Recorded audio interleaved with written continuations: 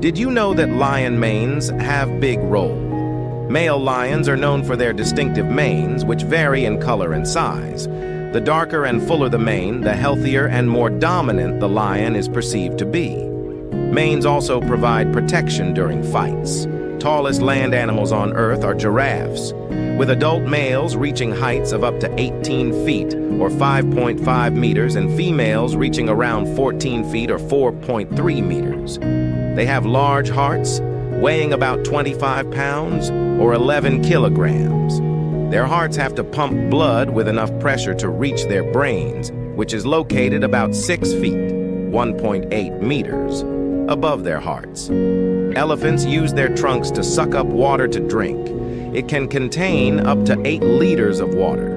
They also use their trunks as a snorkel when swimming. A baby elephant can weigh from 60 kilo to 120 kilo.